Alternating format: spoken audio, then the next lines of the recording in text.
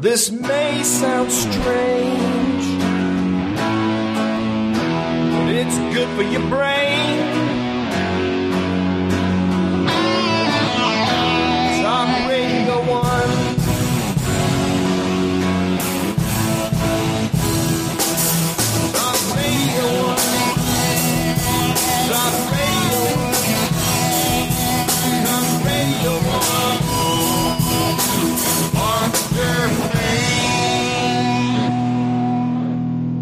Yeah, live from Las Vegas over talkradio1.com. Marc Germain for the 21st day of April 2020.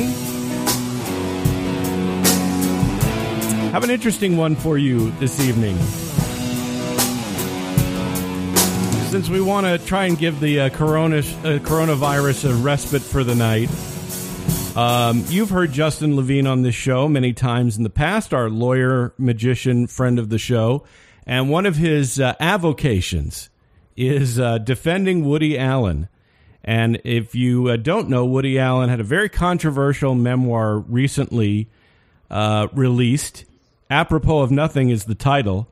And uh, also to talk about the book and about the controversy about the publishing of the book is a, a friend of Woody Allen, Steve Stoliar, who's a television writer, actor, voiceover artist with a lengthy IMDb profile that you can read for yourself.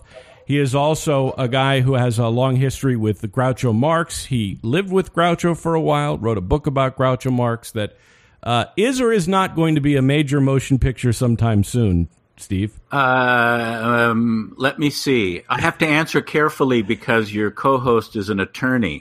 Let's Right. say it is going to be a motion picture, but not necessarily a major motion picture. Okay, all right. So that does that mean it would be on like Netflix or a service Well, like that? no, or- I just, uh, it's just that I have, uh, uh, I wouldn't want to tout something as a major. And and it, here we are now back to the coronavirus. Things were moving along very smoothly. Yeah. And now we have something called force majeure, which Oh. my old friend Bill Dial would call a force manure. uh, which puts everything on hold because, of course, no one is making movies now. Right. But uh, you know, it has been optioned, and I co-wrote the screenplay. And it's going to be very strange to see someone playing me at 20 years old on the screen. Is that how old about- you were when you when you met Groucho Marx? You were twenty. Yeah, Oh, yeah. I was just I was a student at UCLA, and uh, I helped get Animal Crackers re-released, and was rewarded with this astonishing dream come true job of working for Groucho in his house the last three years of his life as his secretary and archivist. And uh, and I was yeah I was a huge Marx Brothers fan, so it was a it was a literal dream come true because I used to dream about meeting him, and then I'd wake up, and as the image was dissipating, I'd think, "Damn it, it was only a dream." so, yes, and and my work for Groucho led to my friendship with Dick Cavett, which in turn led to meeting Woody Allen. So it's all uh, contagious. I I assume both of you have read the book. I have. yes, Yes. I have. And did you did you read the book before it was released? No, but I did receive a complimentary copy from the author. Oh, that's nice. Okay. Was it auto, was it autographed? No, it was sent directly from the publisher, and uh, so it has yet to be signed. But uh, but that's okay. I was happy to have it before most people, and I kept giving them a running uh, narration on Facebook about, well, Amazon now says April 18th. Well, now they're saying they don't know when they'll have it in. Well, now I hear there's going to be an audiobook. I didn't think there was going to be, but Woody did it, and uh, and we don't know when it'll be out. And there's a Kindle, and that's available now. But if you want a book book, that's not going to be till the end of April. And uh, anyway, now all three floor mats are available. So let's talk about the book. Um, Yes. And, and, uh, and before we talk about the book, let's talk about the controversy, which was that Hachette Publishing, uh, who also published uh, Woody Allen's son's book, uh, Ronan Farrow's book. Uh, Ronan Farrow has been uh, outspoken uh, what's the opposite of advocate? He's been an antagonist toward his father, Woody Allen, and didn't want the book to be released under the same uh, uh, the same publishing company. Several employees at Hachette um, said that if the book is published, they will quit, and they they left, I guess, for the day. And the publisher blinked, which I've never heard of, especially considering uh, the whole idea of publishing is to sometimes do uh, controversial works, and also well, I can underst- I can understand wanting to protect the sales or you know not ruffle feathers or something. What doesn't make sense to me is they knew when they agreed to publish it that they were going to walk into a buzzsaw of pushback from all from the whole uh, Times Up, Me Too, uh, Woody is a sexual predator gang that have been shooting down anything remotely resembling a positive story about him in the media. So when they agreed to publish it, they had to have known there was going to be big time pushback. Um, I don't know whether it was because Ronan Ronan's book was published by the same company, which calls into question the wisdom of their agreeing to do it initially. But I was pretty crestfallen when they caved because it's one of those things where I feel like, well, the terrorists have won. The the self-righteous and offended employees walked out rather than having their name associated with a horrible horrible thing like Woody Allen's memoir and then they caved instead of instead of uh, fi- firing them. Um, but luckily, another uh, uh, publisher with a more pronounced spinal column picked it up, and now it is available for all to read. And uh, uh, I think it's really wonderful. It's a, such a blend of, you know, the early his early years almost seem like the narration for radio days and I think he's very hard on himself in his marriages and in his talents. And uh, there's a lot of stuff in there. I mean, completely separate from the whole Mia Farrow, Dylan, uh, Ronan thing. It's just a, a fabulous document of his take on his life and mm-hmm. career. And he's always been his his most severe critic. Um, I, you may know that uh, he disliked Manhattan when he completed it and made an offer to United Artists that he would direct a film for them for nothing if they would shelve Manhattan. And uh, to, lucky for us, they didn't take him up on it. And I think it's imprecise what the, his real hassle was with it, but I think it was something like he looked at it and thought, if this is the best I can do at this point in my career, maybe I'm in the wrong business. Um, anyway, he is he's tough on himself, and then I think eminently fair when it gets into all the Mia Farrow stuff. He has no problem lauding the wonderful work she did in his films, which is kind of indisputable. He brought things out in her talent that no one before or since has been able to do. But again, I hasten to add, if he were guilty, that's that's not a mitigating factor. I, I don't, I'm not big on letting uh, sexual predators off the hook just because they do good work. Th- those are separate tracks. Uh, but in this case, since he is really the victim of Mia's as Dick called, Cavett called it, pathological vengeance um, over the whole Soon Yi thing. Uh, you don't really need to to to say, well, he he he's done good work, so so let's not judge him uh, on his personal life. You can judge him on his personal life because while he's not perfect, uh, there are no uh, uh, felonies here. There are are at best misdemeanors without crimes. It, it, it, was it was it was that question that originally prompted me to really study the case in depth because I've always been a, a fan of his films.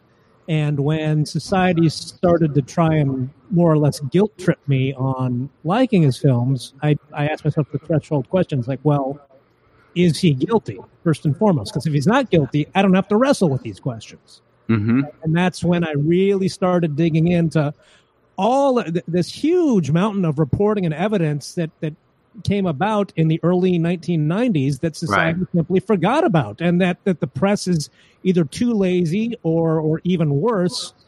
Uh, for their own ideological purposes, simply does not want to regurgitate. Well, it for for at least a generation or more, it isn't regurgitation; it's news to them because because of the the whole Me Too thing and Harvey Weinstein and Bill Cosby and things like that. Uh, you know, we're in this era where, I mean, um, you know, the the the walking the plank of Al Franken uh, is another good example.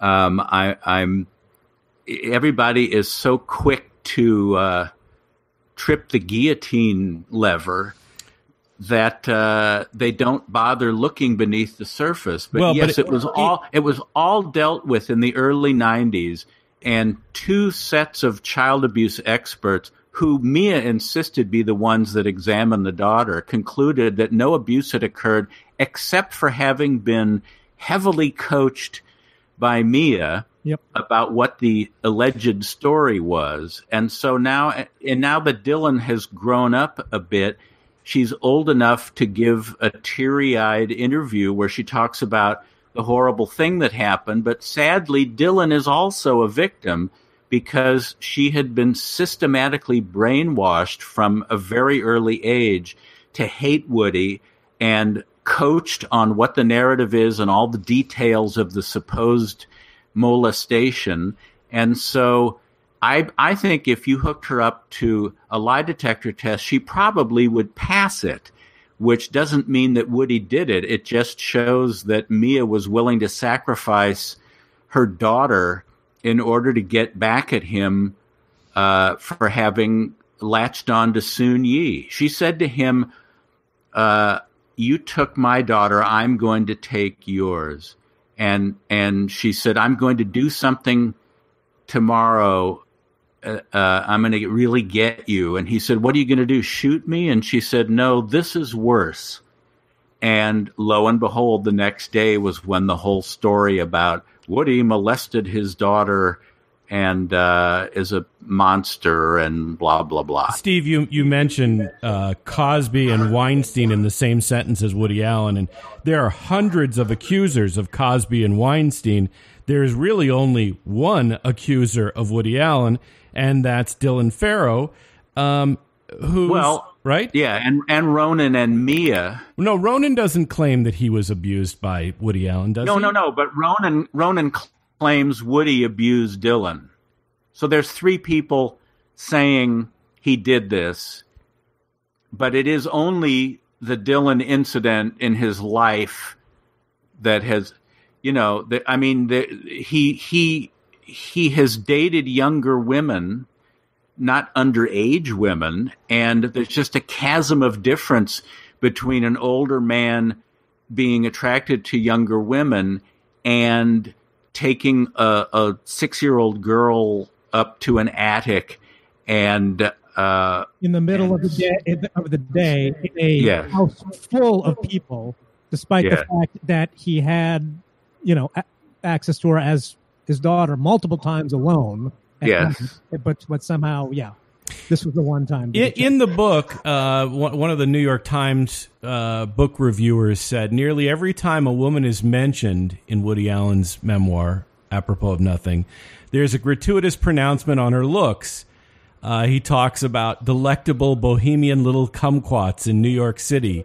When he was filming Casino Royale, the James Bond spoof, he writes, One could stroll along the King's Road and pick up the most adorable birds in their miniskirts. Um, he does have a weird view of women. I, I mean, even the, he, his own writing is odd. That doesn't mean he's a child molester. It doesn't mean that there's that there's uh, smoke where there there's fire where there's smoke. you, you, you Right. make me feel guilty, Marc, because it's like I feel I have this exact same view when I when I'm walking down the boulevard and I see an attractive woman. It's like, oh, That's a nice looking girl. The And- difference is that the difference is Woody doesn't feel an obligation to be um, diplomatic when Yeah. he gives public statements. And th- this has gotten me into arguments with good friends of mine who are pro Woody and anti Mia and all that. And they keep saying things like, if he just wouldn't say it like that, or if he'd only come out and clarify this. And it's like you're projecting how you would behave. He doesn't, he's not going to censor himself for fear of what he refers to in the book as the appropriate police. He's being honest. And if, you know, I, I'm 65 now, and it doesn't mean that I am more attracted to women in their mid 60s than I would be to whoever like the current Playboy centerfold would be. You're dealing with biology and evolution and a lot of stuff that's more than just it's frowned upon in polite society. So the fact that he, you know, the other thing that that people forget about. But wait, wait, one, keep- wait one, they- sec- wait one second, Steve. If people think you're a creep, and it specifically you're a creep with young women, maybe maybe be mindful of that and not refer to women as birds and not refer to.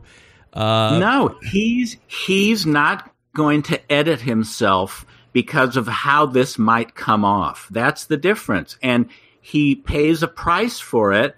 But it is he's being uh, honest and upfront instead of uh, thinking. Yeah. And also, and people, it's like with Manhattan, people, you know, the, the anti Woody people say, well, there, there, you see, that's the real him. And the flip side of that is he has written so many compassionate, understanding, sympathetic, three dimensional female roles in his films um, that often lead to nominations and Oscars for the women in his films. Um, they often show a just really remarkable insight into, you know, you think about something like Another Woman, you know, women getting into middle age and, and having questions about their attractiveness and the, you know, I mean, the, he has written some of the greatest female roles and not just as you know ditzes or as straight people to play off of but you know often they're superior uh, to him to his characters in the films and i think he he loves women but not just not as sexual objects but he really loves them so Steve, I know, I know, gonna- I, I know you um, uh, have a relationship with Woody Allen, and obviously that figures into your understanding of the the story about the molestation. Did you know? And I know Justin, you want to get in here, but did you know Woody Allen before the accusations of molestation? yes You did. Okay. And so when you first heard this story about you know the accusation and the investigation by the district attorneys and the uh, all that went on, did you think this is possible or did you think this is not possible? Well, here is where I feel compelled to interject a personal note, and that is that my late wife, Angelique, had been horrifically sexually abused as a child and adolescent for years by her brother and her father. And I had a front row seat to the devastation that that causes a woman um, as she becomes mature and uh, deals with the traumas from childhood. So I, I, and I, I learned from what she went through, which of course put me through it, since we were a, an unbeatable team, and I never thought of uh, deserting her. Um, was that uh, the people who wouldn't believe her, the people who would say, "Oh no, your father wouldn't do a thing like that." I mean, it's it's a cliche because it's so often the case, but you run into the. Uh, you know, I think it didn't John Wayne Gacy have a wife and children. I mean, you you can't let them off the hook just because they don't seem the type or because they're a friend of yours or a relative of yours. That I learned that and and have no interest in giving an accused molester the benefit of the doubt because I see that happen much too often where it, it is it is unfortunately uh, legitimate and it, it takes so much for the women to come forward because they run into so much skepticism. So I knew better than to say, no, uh, I love his work and uh, he answers my letters and therefore I reject this. I knew to be uh, open to the possibility, even though if you had said, Do you think it's true or not? I would have said, Probably not. I it's very hard for me to believe it, but I know better than to say that's just ridiculous because that's what real victims run into is that's just ridiculous. How could you say that about this person? Justin, remind me what it was that made you interested in the subject and want to investigate on your own. Well, as I mentioned earlier in the show, it was the fact that when this the the anti Woody movement started gearing up, I I not from any specific person, but generally I I felt that society was trying to guilt me about liking his films and so I it, I was wrestling with the question that many people do of do you put the artist separate from the art? But then it's like I told myself there's well, there's a threshold question here: is he actually guilty of what they are claiming? And then I thought, like, what you know, I I knew in a vague sense wasn't this sort of gone through in the early 90s and nothing came of that what then right. why and so it really started it inspired me to really get into the thick of the evidence that was already known back in the early 90s and the more and more i went through it it's like this isn't a he said she said situation that that the press wants to pretend it is these days this was there was a literal, I mean not a literal, but it, there was a mountain of evidence, right, that all actively confirmed Woody Allen's actual innocence. The, the, the, you know, it, it wasn't even just oh, there's a little bit of, of doubt. It's like, you know, uh, just proof after proof. The expert testimony saying, you know, national experts in child abuse saying not just that it was inconclusive, they are saying that in our expert opinion, there was no molestation. And then you get into the eyewitness account by Moses Farrow, who was yeah. in the house the whole day, who could account for their whereabouts the whole time. The eyewitness account by Dylan's nanny, who admitted that for her, she only lost track of them for 20 minutes. So you'd have to believe that the one and only time that he has been accused of molesting somebody would have been in a house full of people in the middle of the day when he knows Mia Farrow could uh, come back at any moment from shopping. Right. Suddenly, in a 20 minute window, dragged her up to the attic, touched her and, in a and he's claustrophobic.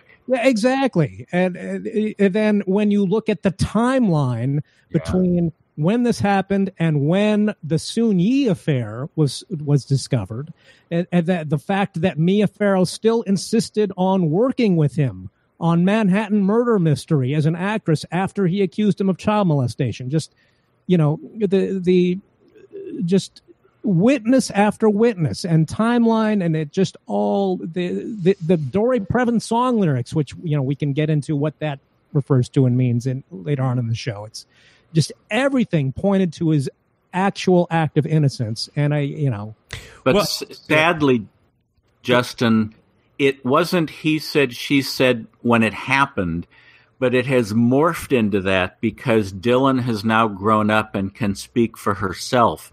So now you have her, you had that she did an op ed thing saying, Why has Me Too spared my father who raped me? Why are all these other men being held accountable? Why, did, why is Hollywood permitting him to be let off the hook by this? And then she went on, I don't know, CBS or something and had tears streaming down her yep. face. And that was a whole lot of people's first introduction to this whole controversy. like I said, you know, something that happened in 92, or I should say didn't happen in 92, this is already pushing 20 years ago. And so, Well, 30, minute, almost 30. years. Yeah. See, see how quickly. And, uh, and and and they're not willing to look beyond just scrolling through their you know the the news feed and going oh well, I guess this is what happened Well- another another thing is the level of of horrific dysfunction in the Farrow family going back to to John Farrow and Maureen O'Sullivan um, the alcoholism the infidelity the spousal abuse and then with with Mia and her brood, um, suicides.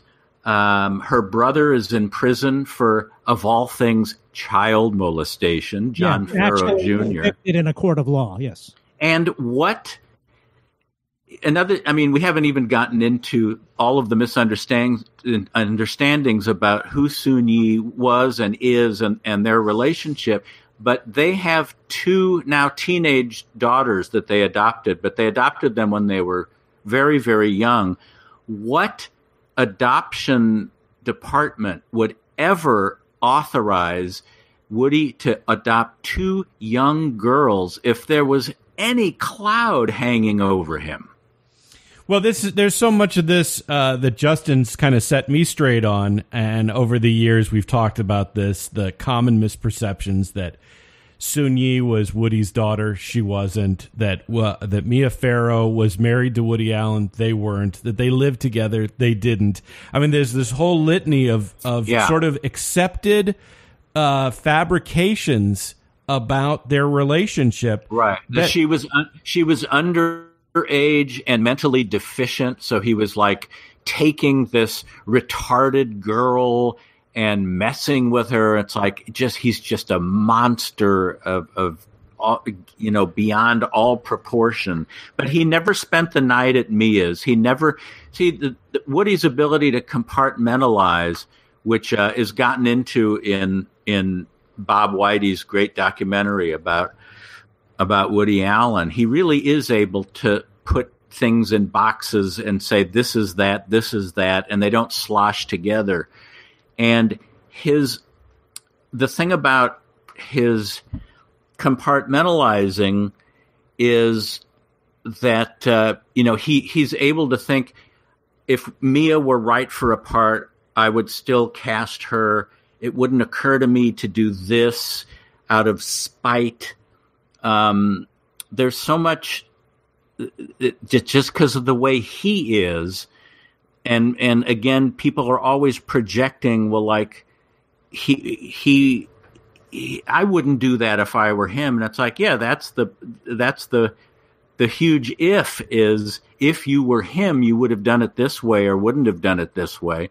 But uh, you aren't, and he he follows his own path. I also am astonished at his ability to continue being creative through all of this because I I feel like if I, I ran into something like this where I was falsely vilified and couldn't get films done in America and all that stuff, I would just be hopping mad and wanting to stop people on the street and say, "Let me explain to you why you're wrong about me."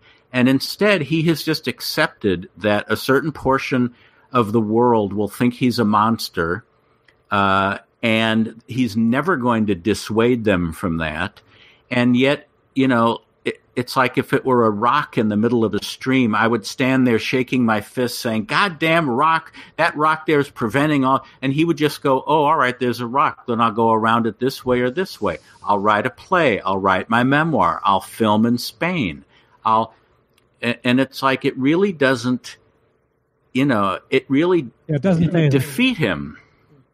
Yeah, and is that is that a positive characteristic or a negative characteristic? Because I almost respect. Yes. it's both. You're saying.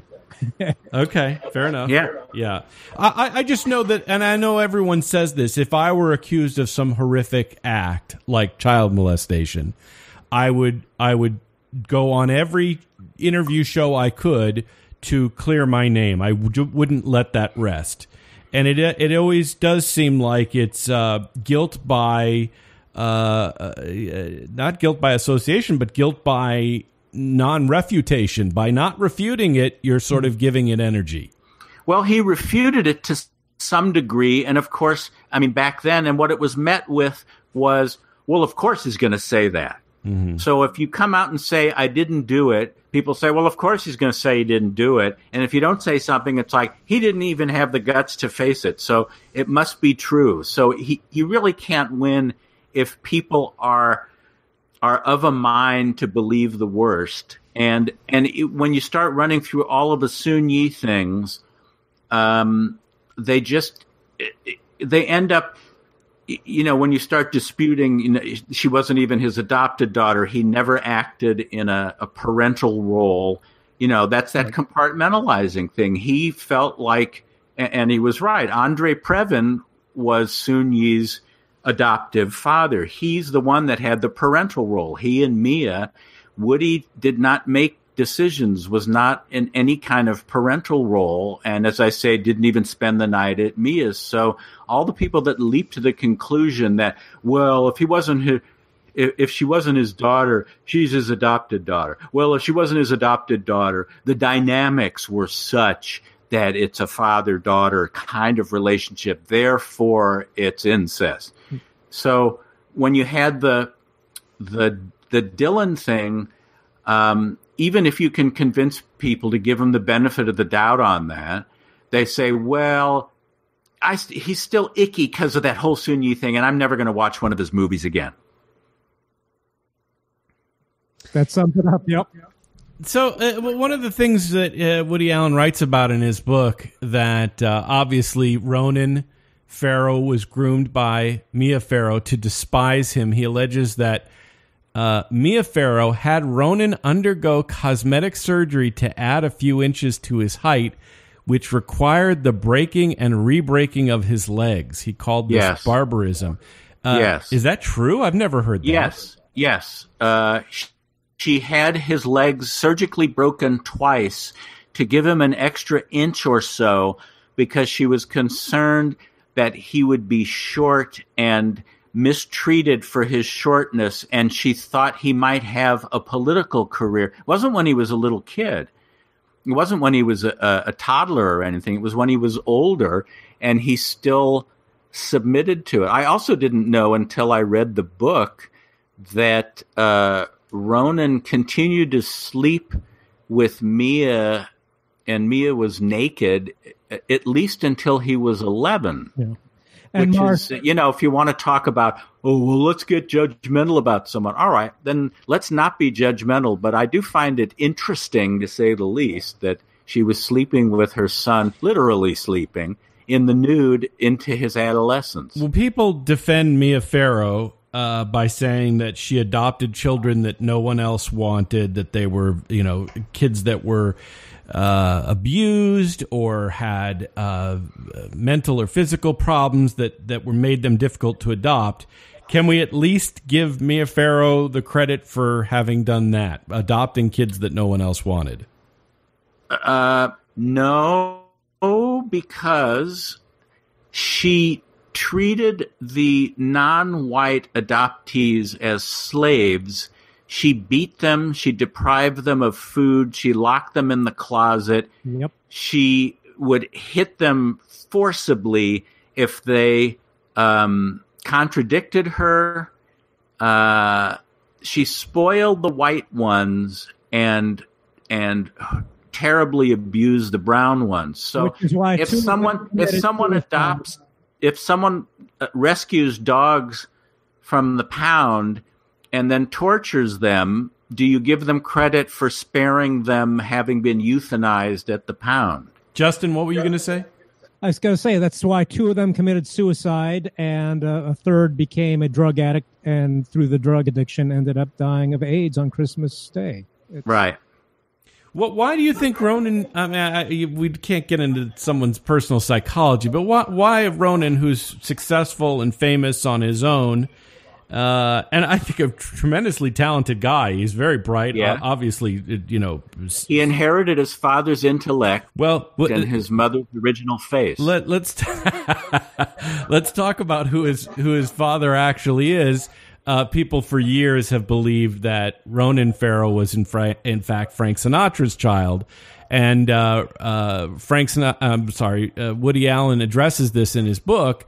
He says, despite her, meaning uh, Mia Farrow, Yeah. suggesting Satchel was Frank Sinatra's child, I think he's mine, though I'll never really know.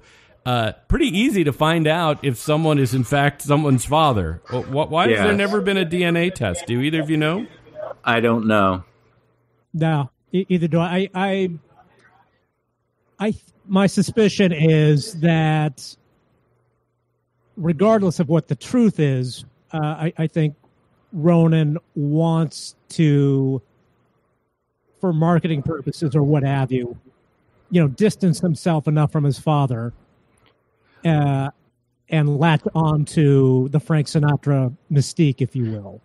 Well, also it it's another way that Mia has robbed him of stuff. I mean, she has succeeded in what I call arbuckling Woody. You know, Fatty Arbuckle was falsely accused of rape and acquitted, but his his career was destroyed by people who refused to believe he was innocent. She she did the you you took my daughter, now I'm going to take yours, and the next day was the announcement of the alleged molestation. So what else does he have? Well, uh, Ronan is Woody's only blood kin child. They adopted uh, Dylan together, but Ronan was his natural child.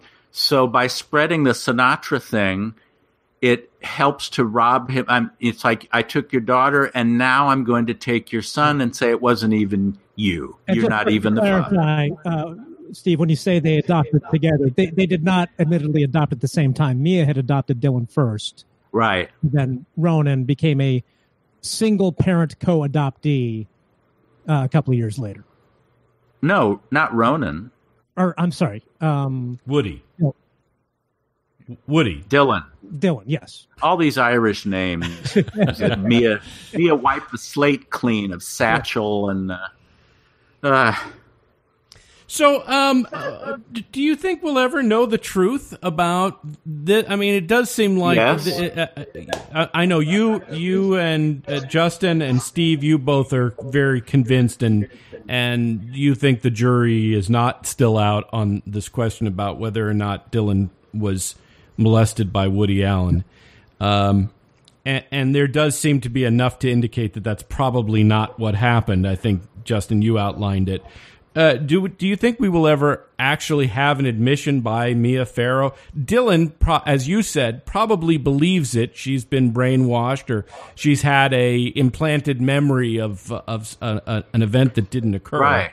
Uh, the bigger question the bigger question is will will Ronan ever crack? Because he is extremely bright and I suspect he knows the score, but either out of allegiance or fear of Mia's wrath, or just the idea that, you know, we're in this so far, you know, the Vietnam thing. It's like, well, we've been in it for this many years. We can't just stop now. I think in order to be supportive of Dylan and the trauma she's gone through, again, because of what Mia did, not because of what Woody did, um, he feels like he needs to throw in with the I believe my sister people.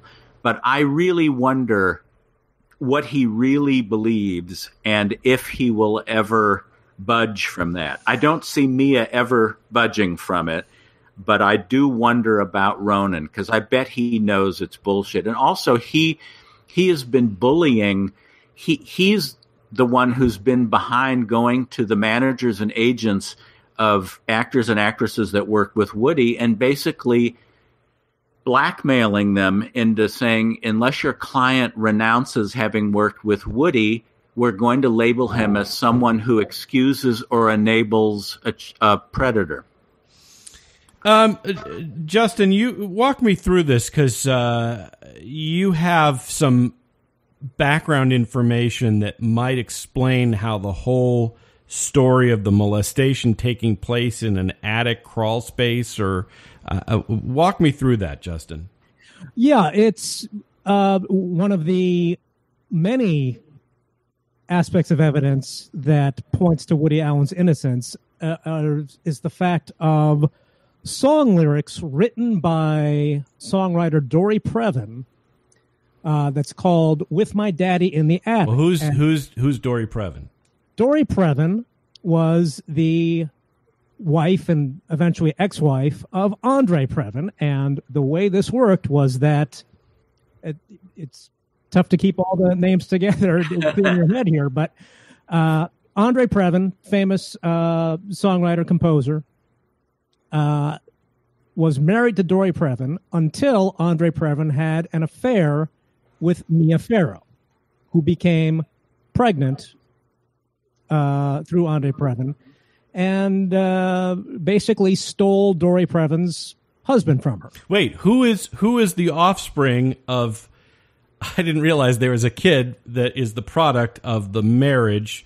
Uh, I don't. Was Mia Farrow married to Andre Previn? Yes. And Yes. who, and who and who is their kid? Uh, they had twins, I believe. Um, Steve, I, you know, I can't keep them. Hold on one Straight moment. without a I can, uh, if you give me a moment, because I, wrote an essay detailing all of this, but I can't keep it Uh, straight. I thought I thought Mia Farrow's only biological child was Ronan. That's not correct. No. Okay, there's others. Yeah, Oh boy. Okay. All right. others from Andre, not from Sinatra. Or Woody. No, Woody's is Ronan. That's the only one. I know that, but I'm saying other than Ronan, there are no biological children. on. yeah, between Mia Farrow and Matthew Previn and Sasha Previn, both born 1970, both twins. okay. And where are they? Uh, they are around. I don't in terms of what I, if if I'm trying, if I recall correctly, I think one might have worked for IBM. Uh, let's see here.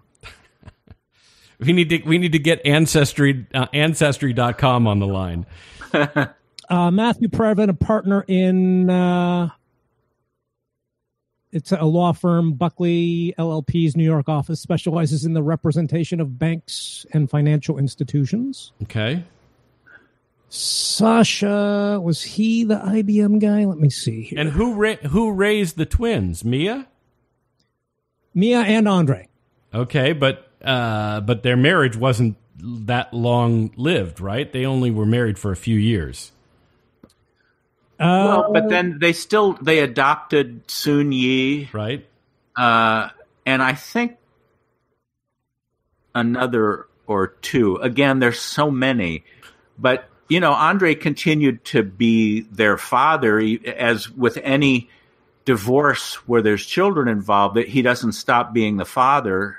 Yeah, no, Um, no, they, they they were married for a good number of years. So during the what I term the Andre Previn era, Yes. Mia Farrow, they uh, they had two biological children, Matthew and Sasha, both born in 1970. Then uh, they adopted Lark Previn in uh, 1973. Uh, oh, then they had a I'm sorry, a third biological child, Fletcher Previn, born Right. 1974. Uh, and then in 1976, they adopted Summer Previn, who later became known as Daisy Previn. Jeez. And uh, then finally in 1978, uh, both Andre and Mia adopted Soon Yi Previn.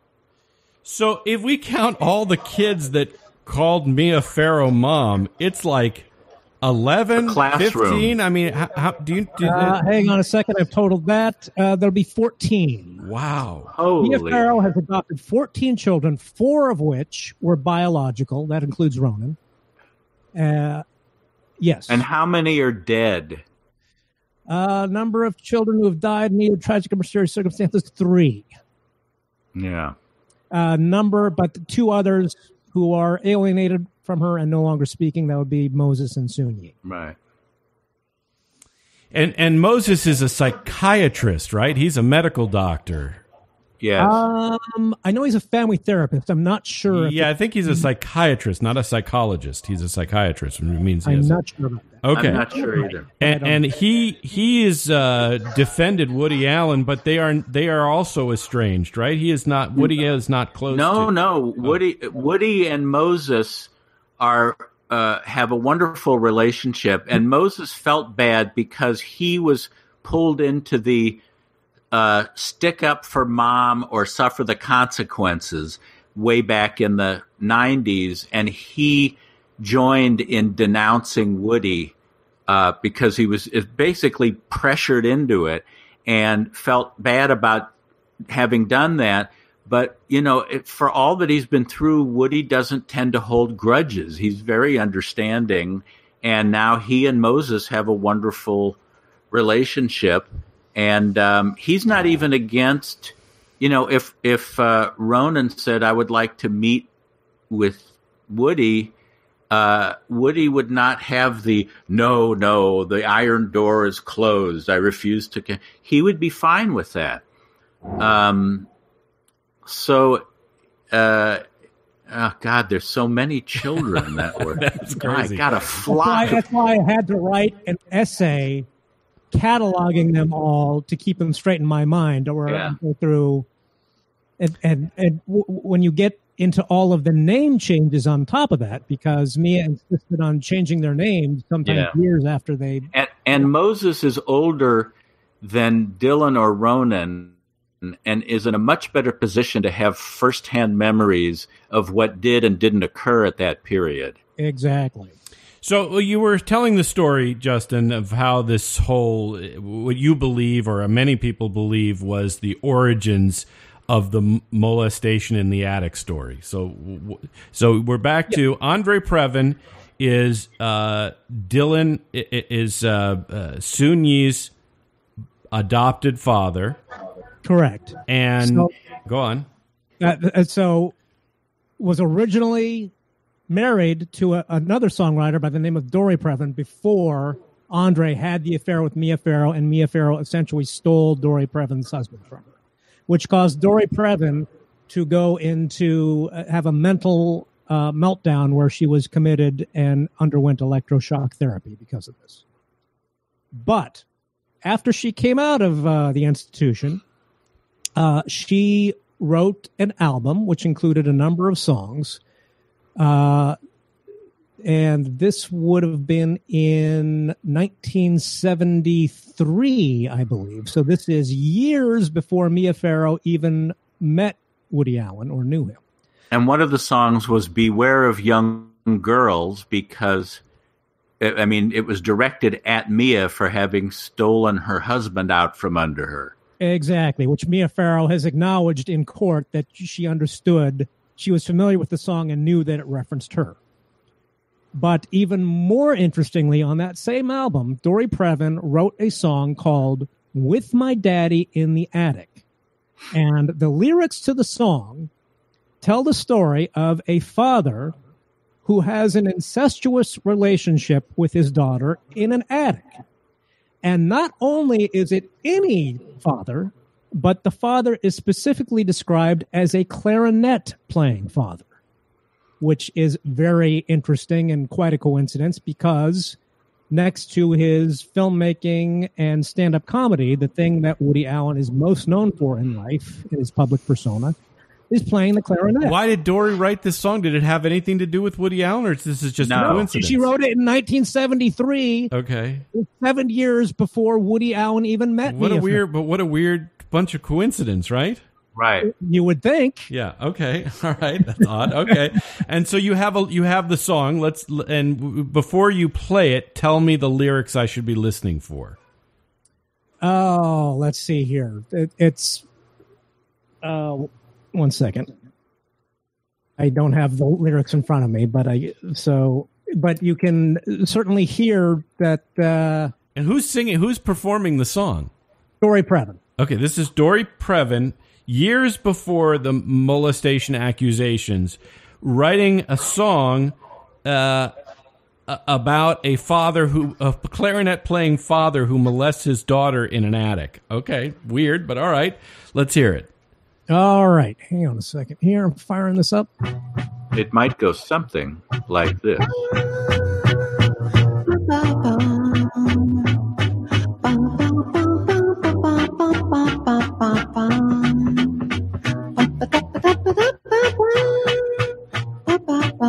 Long intro.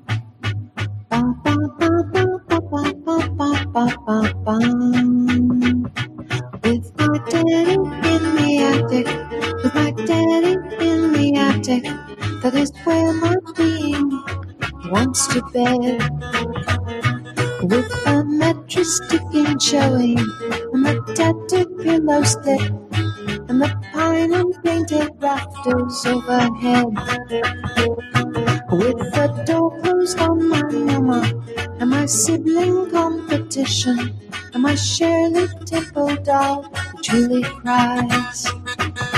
And my essay on religion with a pasted paper star, proving tangibly I won the second prize. With my daddy in the attic, with my daddy in the attic, that is where my dark attraction lies.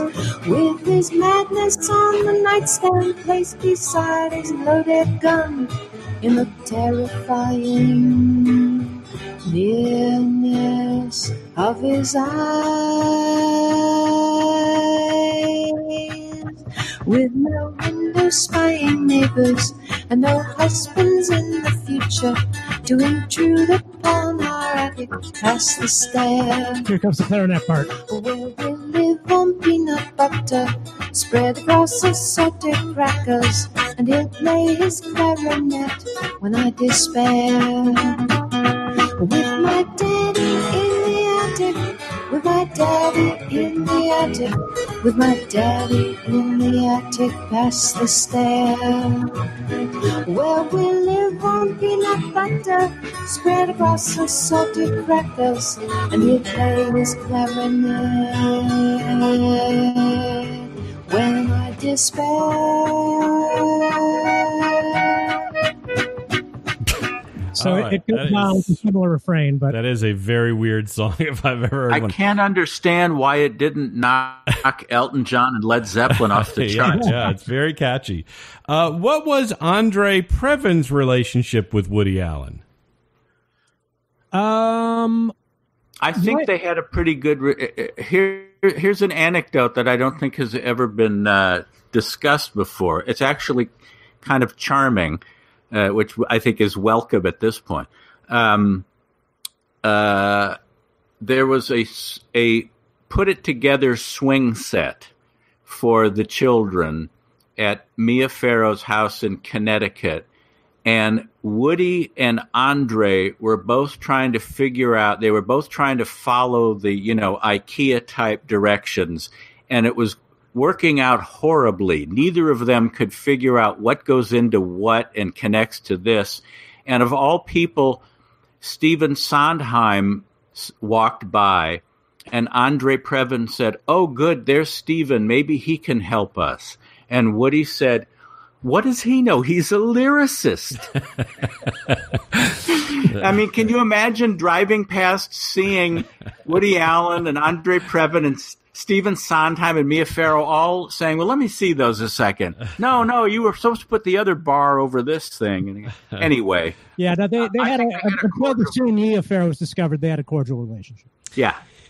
Um, so uh, Steve Stoliar, what was Groucho Marx and Woody Allen's relationship? I have a feeling you have some keen insights into that. Well, uh, Groucho took a very early interest in Woody in it when Woody was starting out in stand up, and he turned a lot of his uh, peers onto Woody Allen because you know Groucho was from 1890 and and was uh, of that era of vaudeville and and early stand up and Burns and Allen and Bob Hope and all that, but he loved whatever if something was funny it didn't matter if they were from some young whippersnapper or something so he took an early interest in woody's career and they would correspond and uh, uh, he would Woody would get advice about his his material and delivery, and um, Do you know if they ever met? oh yeah, sure. And I mean, and and Woody was at the um, at the Carnegie Hall show that Dick Cavett hosted in '72.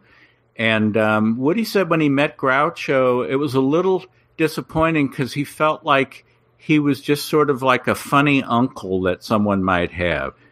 He wasn't as crazy about meeting his heroes as Cavett was. Cavett sort of made an avocation of it, and Woody wasn't one to lionize people and get all gooey and trembly at the thought of meeting someone. But he loved Groucho and had enormous admiration and respect for his comic mind. And uh, Groucho was a sort of a, took an avuncular interest in helping Woody along, and then became a big fan and would see all of his movies as they would come out. I know you're uh, uh, uh, asking you to summarize this is a little unfair because you wrote a whole book about it, raised eyebrows. But uh, how did you find Groucho to be? Did he meet it, meeting your here one of your heroes and and living with him basically for several years? Well, uh, uh, oh, let me see how I can do this in a compressed way. I, f- I first saw Groucho from the back of the Dorothy Chandler Pavilion in 72 when he was doing his one man show, and I hadn't realized how old and hazy he had gotten because the press was still selling the idea that good old Groucho at 80 something, just as sharp as ever. Hmm. And so it was kind of a sledgehammer blow to the solar plexus when he shuffled out to the podium and started reading slowly off of three by five cards. And I thought, oh, gee, the Groucho that I wanted to meet is gone. But then when I met him, I met him. I started a committee at UCLA to, to put pressure on Universal to re release Animal Crackers and got in touch with Erin Fleming, the woman in charge of Groucho's life. And she brought Groucho to UCLA. I said, Groucho, I'm very happy to be meeting you after all these years. And he said, Well, you should be. And uh, Erin said, This is Steve Stoliar. He's trying to get Animal Crackers re released. And Groucho said, Did you get it? And I said, Not yet, but I'm working on it. And he said, You better or I'll fire you. and I said, I didn't realize I was working for you. How much are you paying me? And he said, A little less than nothing. and I thought, I don't believe this. And what I got to realize was when I, and this is actually getting, finally getting around to your question is getting to know him in the comfort of his home at the lunch table without 10,000 people and spotlights on him. I realized how much was still there of the old Groucho, not the old Groucho. And and he I mean it was still a compulsion for him to twist lines into puns and I mean he made me laugh many times and uh it was just a, an extraordinary experience getting to know him that intimately and be able to just chat about vaudeville and I mean his firsthand memories went from before the Wright brothers to after the moon landing so Right. he was this this time capsule uh, so it, there was nothing disappointing about it at all What was his And, worst uh, personality trait? what was what What was his worst personality trait? His worst personality trait. Well, you know, time had actually had actually uh, made him kind of a kindler, gentler Groucho, but there was still the the guy who would snap. And uh, luckily, in the in the three years I worked there, there were only a couple of times when I felt reprimanded, and it was just a terrible feeling because you don't want your hero to be upset with you for something. So he could live up to his, you know, he wasn't named Cordulo. I mean, there's a reason why his name was Groucho. Um, but for the most part, uh, you know, uh, it, it was pretty wonderful, except getting close to my hero uh, as he was fading out and having to put up with the mercurial personality of Erin Fleming. But most of it was remarkable. So I've had really good luck meeting my heroes. Cavett and I became friends, and he hired me to write for him in New York. And I had always been wary of asking about meeting Woody Allen, who was one of Cavett's closest friends because especially after I saw Stardust Memories, I thought, gee, he seems to have such contempt for fans, and what would I ever have to say that would remotely interest this intellectual? And Cavett, when I was living in New York, Cavett called me up one day and he said, Say, Stoliar, I noticed that Woody is shooting his new film around the corner. and I thought you could come over to my place and we could just happen upon it and then you could meet him. And I said, Oh, and he won't mind? And Cavett said, I didn't say that. he very well say, Really, Dickie, I wish you hadn't. And I thought, Oh, that's great. I'm nervous about meeting him to begin with, and now you're saying no. There's no guarantee he won't be upset that you're here. Um, but we went over, and it was a building that uh, uh, that was a sequence of medical offices, and uh, this sounds like I'm exaggerating it for the purposes of drama, but uh, I stood at one end of the hall, and there was a long hallway, and at the end of it, there was an open door with a bright light coming out of it, because that's where Woody was shooting them. But it had such a Wizard of Oz feel to it. And Cavett said, "Stay here, let me check this out." So I watched him stand outside in the hallway, watching them shoot, and then the light went out, and Woody Allen and Mia Farrow came out of the room, and. Uh, they were talking and I thought, wow, it's Dick Cavett and Woody Allen and Mia Farrow. And then I saw Cavett point to me and the two others looked at me and I did the me looking behind me thing. And then, uh, and, and uh, so I approached them and Woody Allen said, uh, uh, I'm Woody Allen and this is Miss Farrow and we're here on the set of our latest motion picture. like it was entertainment tonight or something. And it was a movie called Hannah and Her Sisters, and Yeah. it was the scene where they. Uh, it's a flashback where they're at a doctor's office and learn they can't have children. So I, I'll always know that was the day that I met him. But Cavett had had told him about me, so he knew who I was. Um, after Groucho died in '77, I thought, well, now there's no reason for Cavett to stay in touch with me because I was a pipeline into Groucho's house. And now that that's severed, why would he want to fool with me? And instead, he it would, uh, Cavett called me from New York and said, "Listen, I hope just because Groucho's gone, we're not going to lose touch. And by the way, I hope you don't mind, but I've shown some of your letters to Woody, and he says these are very well written." So I had to empty the urine out of my shoes. to vote him out. So he knew that I was that guy that worked for Groucho, mm-hmm. but I was still concerned. But it was a very comfortable conversation, and there weren't any real revelations mm-hmm. there. He he did mention that when he was doing Zelig, he wrote Greta Garbo to see if she would be. He said he said I knew that she was retired, but I thought she might be interested in doing this, being one of the on-camera people interviewed about Zelig for the faux documentary. He said, you know, I I told her she could have complete control over the clip. And uh, if she wasn't happy with it, we wouldn't use it, and it could be as long as it want she wanted, and wherever she wanted all this. And I never heard back from her. And Cavett said, "Did you send it to 123 East 49th Street?" He said, "Yes."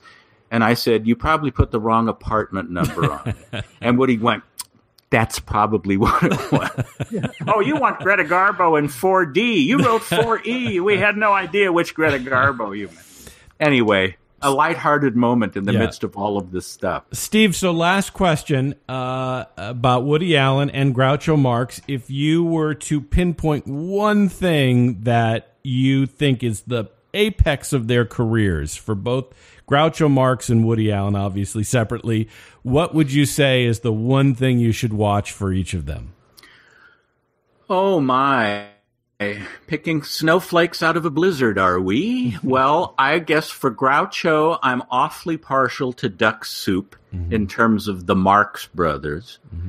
And uh, for, for Woody, well, I mean, there are the early funny movies. There, it's so hard to pick what someone would respond to. I mean, I still think Take the Money and Run or Bananas, and Bananas are hysterical. The stuff, but then you yeah. get into more mature stuff like Annie Hall and Manhattan. Mm-hmm. But then there's wonderful things later on, like Crimes and Misdemeanors and Hannah and her sisters.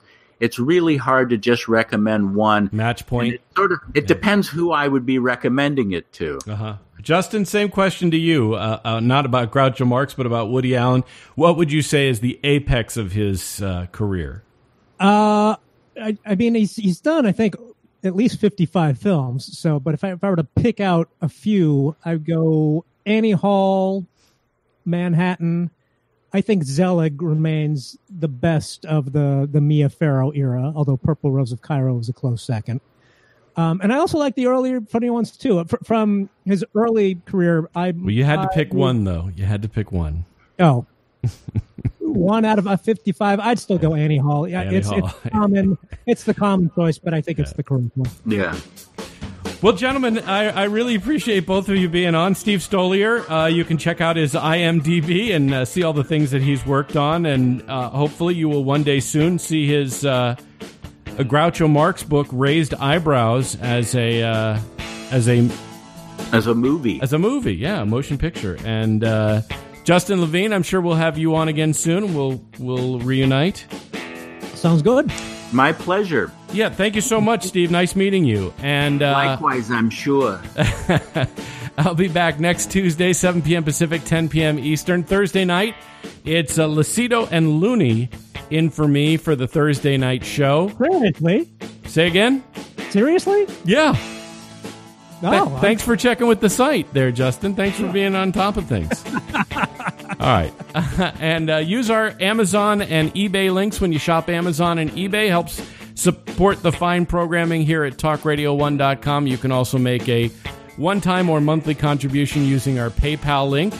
All of that is available to you on the talkradio1.com homepage. Also, you can leave a message for us uh, for the show using the phone number on the top right of the screen. You can call that anytime, 24 hours a day, seven days a week.